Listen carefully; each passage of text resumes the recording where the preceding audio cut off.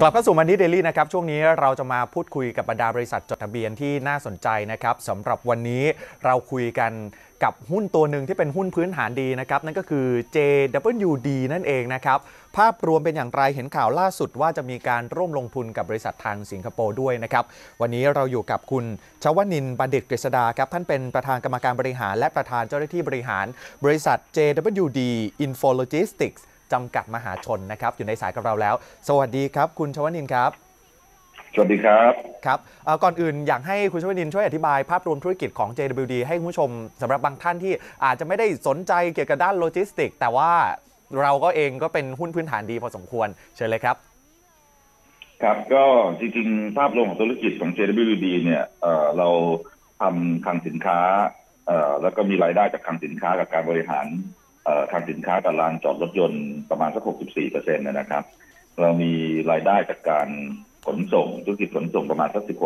16.4 แล้วก็มีขนย้ายประมาณสัก 10.4 มีกลุ่มทางอาหาร 5.1 นะครับครับ document storage 3.7 แล้วก็ธุรกิจอื่นๆนะครับ ทีนี้ภาพรวมในในเอ่อสองคิวที่ผ่านมาเนี่ย จริงๆเราเอ่อมีรายได้อยู่ประมาณ 1,414.7 ล้านนะครับ ก็ จริงๆ ถ้าเติบโต Q on Q ก็ประมาณสัก31.6เปอร์เซ็นต์นะคครัรับบแล้วก็เอ่อเราก็มีกำไรเอ่ออยู่ประมาณสัก90ล้านนะครับ2คิวนะครับ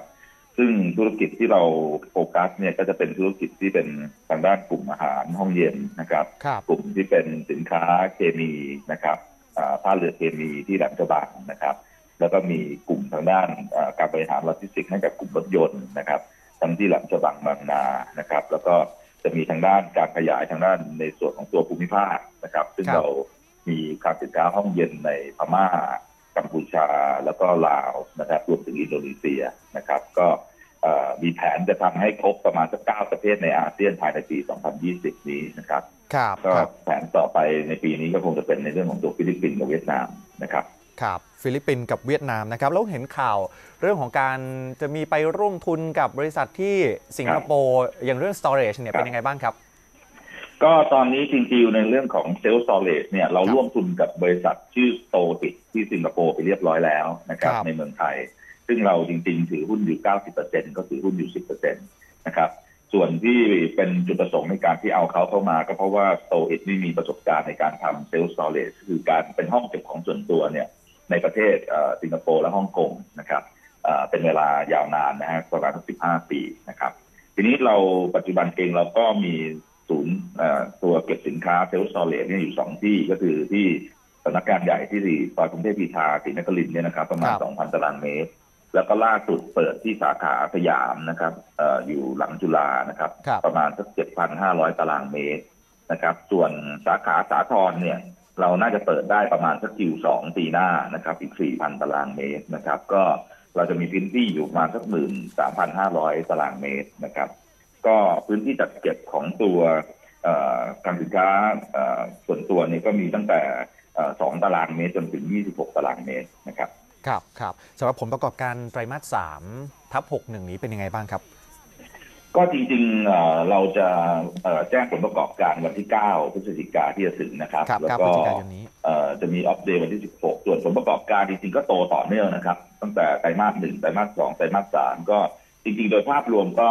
โตกว่าไตรมาสเอ่อสองสามเอ่อสองกับหนึ่งนะครับ ซึ่งครับผมมองว่าครึ่งปีหลังเนี่ยจริง ๆ จะโตกว่าครึ่งปีแรกเยอะพอสมควรนะครับ ก็ครับเอ่อเราเรามีเอ่อการเติบโตจากรายได้เอ่อ สองคิวที่ผ่านมาก็คือ 30%นะครับ ผมก็พยายามจะเมนเทนในส่วนของตัวการเติบโตของรายได้ แล้วก็ส่วนในครัวของผลกำไรด้วยนะครับ ครับครับเราก็ถือว่าเป็นหุ้นอีกตัวหนึ่งที่นะฮะมีการตั้งเป้าว่าจะมีการเติบโตที่ค่อนข้างสูงเลยทีเดียว ส่วนครับแผนงานในอนาคต เราเตรียมที่จะขยายไปประเทศไหนเพิ่มเติมอีกไหมครับ ก็ตอนนี้อย่างที่เรียนให้ทราบตั้งแต่ต้นก็คือว่าเรากำลังเอ่อจะเอ่อ Q4 เนี่ยพยายามจะ ให้ให้จบในเรื่องของตัวฟิลิปปินส์กับเวียดนามนะครับครับซึ่งถ้าล่าช้าก็คงจะไม่เกิน Q1 ปีหน้า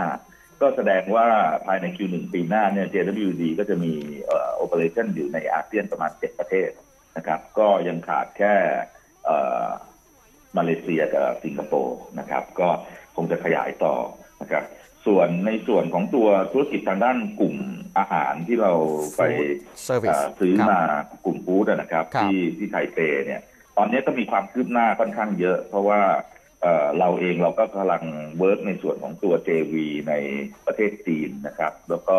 เอ่อในประเทศฟิลิปปินส์นะครับ ก็คาดว่าน่าจะเสร็จสมบูรณ์ได้ภายใน Q4 ปีนี้นะครับ ก็ธุรกิจในกลุ่มอาหารก็จะสร้างการเติบโตในปีหน้าของเราเอ่อได้เป็นอย่างดีนะฮะเพราะว่าเอ่อ รายได้ของกลุ่มอาหารเองต่อปีของไทเปอย่างเดียวเนี่ยมีรายได้อยู่มาสักห้าร้อยหกสิบล้านนะครับ ก็ถ้ามี JV ในส่วนของตัวประเทศฟิลิปปินส์กับทางที่จีนเพิ่มเข้ามาเนี่ยปีหน้าก็น่าจะเติบโตได้ แล้วก็เราเองเราถือธุรกิจกลุ่มนี้อยู่ในส่วนของตัวไทเป 60%นะครับ ในส่วนของตัวฟิลิปปินส์กับในส่วนของตัว เอ่อเมืองจีนเนี่ยครับเอ่อสัดส่วนเราก็ถือถือเป็นหุ้นใหญ่นะครับเพราะฉะนั้นเราก็อาจจะคอนโทรลเลงบเข้ามาได้นะครับครับเราจะรับรู้รายได้เต็มปีไหนครับ ก็ปีหน้าจะรับรู้รายได้เต็มปีนะครับ62เพราะว่าเลย ปีนี้เราเรารับแค่ครึ่งเดียวครับผมอ่า ได้ครับ วันนี้ขอบคุณคุณชวนินทร์นะครับ ขอบพระคุณนะครับได้ครับครับผมสวัสดีครับสวัสดีคุณชวนินทร์บดิตกฤษดานะครับ ประธานกรรมการบริหารและประธาน เจ้าหน้าที่บริหารบริษัท JWD InfoLogistics จำกัดมหาชน ก็เป็นหุ้นโลจิสติกอีกหุ้นหนึ่งที่น่าสนใจที่ผลประกอบการก็โตต่อเนื่อง ยังไงสำหรับใครที่สนใจลงทุนติดตามข้อมูลข่าวสารอย่างใกล้ชิดนะครับ เดี๋ยวช่วงนี้เราพักกันสักครู่ก่อนนะครับ ช่วงหน้ามาดูความเคลื่อนไหวเรื่อง Thailand Future Fund กันครับ